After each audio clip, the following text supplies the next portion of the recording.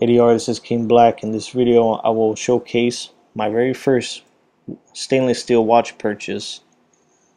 And this was quite a few years ago. This was after I became 18 and independent. And this is an Invicta model. Yeah, that's right. I said Invicta. I know there's a lot of love and hate. But it's an Invicta model reference number 0259. It is a black dial,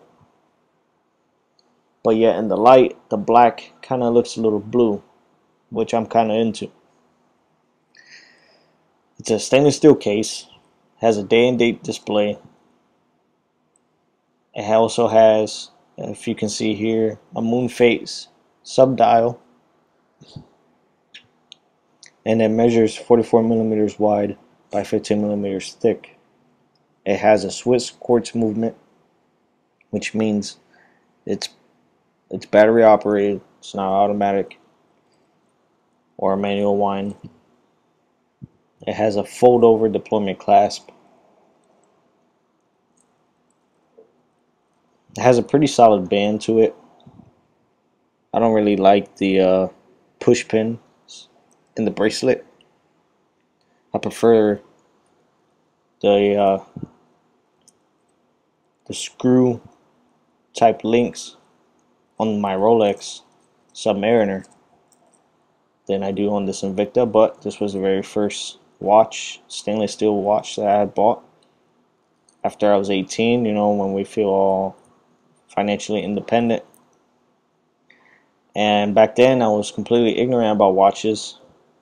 So we all know the dreaded, the overly inflated recommended MSRP.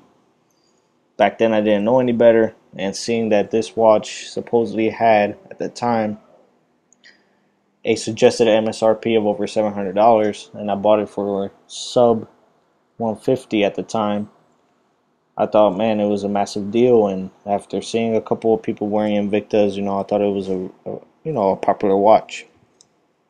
Which it still is. I mean, if you look at the volume of sales that Invicta does, no matter how much hate people have for it, for their seeming homages to other watches. I mean, I've seen Psycho, uh, Seiko inspired Invictas. I've seen some that seem to have components of an homage to a Rolex or to an Omega, to an uh, Omega.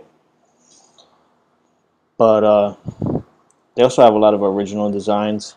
You know, some of their Russian divers, some of their Aquanova Hydromaxes.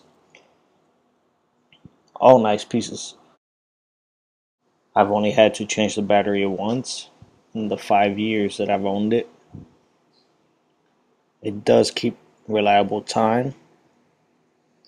The moon phase still works, but some of the lume on the uh, day markers is gone.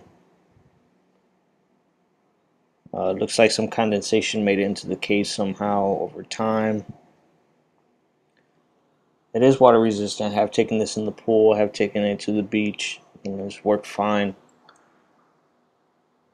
You can tell by the case, it's been an everyday beater has little dings and scratches and there's a little tiny ding on the crystal between the 12 and 5 marker. Overall, it is a good watch. It was an entry-level watch. It was one that I bought for everyday carry, which I no longer use this every day anymore. Just keep it as a part of my collection as my first piece.